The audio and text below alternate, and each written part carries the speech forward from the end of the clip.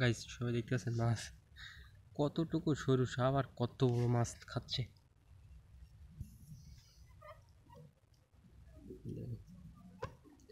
কীভাবে খাবে ও?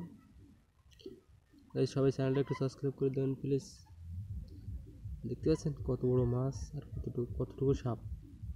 সাপটা অনেক লম্বা। দেখেন।